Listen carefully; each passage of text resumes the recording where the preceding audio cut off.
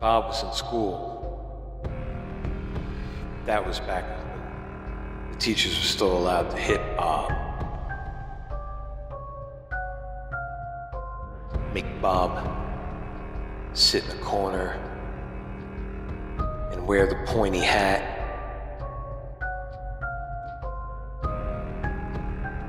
Not let Bob go to the bathroom. He tried so hard, sweated, shook, till he finally peed his pants.